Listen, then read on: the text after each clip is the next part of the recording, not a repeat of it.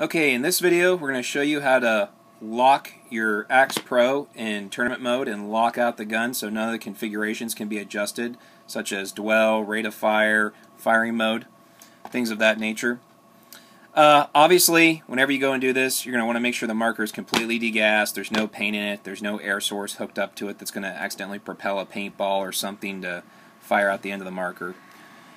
Uh, First thing you're going to do is you're going to take off this cover here on the side. Uh, your Allen wrench is found in your toolkit that comes with the Axe Pro. Just turn it counterclockwise, usually about three to four revolutions, and that should get the screw out of there.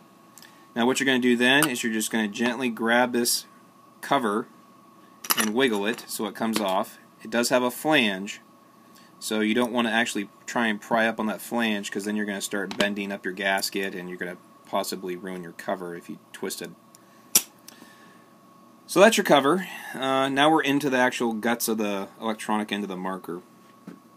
Battery, board, but more specifically what we're looking for is the tournament lock. Your tournament lock button is located right here.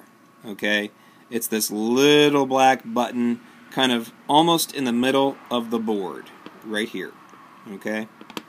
Now, to enable your tournament lock, your marker needs to be on. The way to do that is you want to push directly into the center of the joystick and turn the marker on.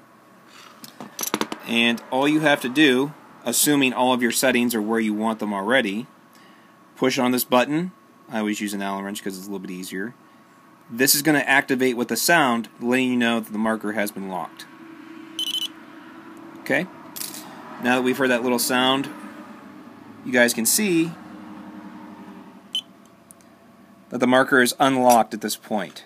So it must have already been locked. We'll put it back into locked mode by pushing that button again. Now you can see that the that the lock is showing closed and that the marker is locked out for tournament play. So it's real simple to do. It's just this button over here on the side of the board. If you need to lock out your gun for tournament play, that's how you do it. There's nothing special. There's no more dip switches to flip up and down. You just push the button on the side, you're good to go.